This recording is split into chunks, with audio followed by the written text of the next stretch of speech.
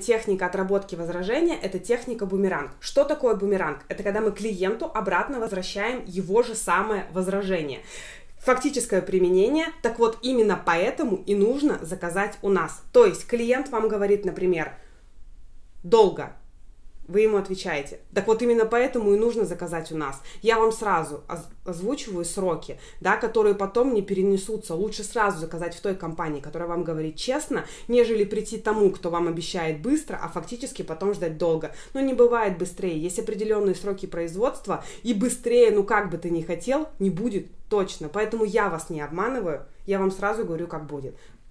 Что скажете по этому поводу?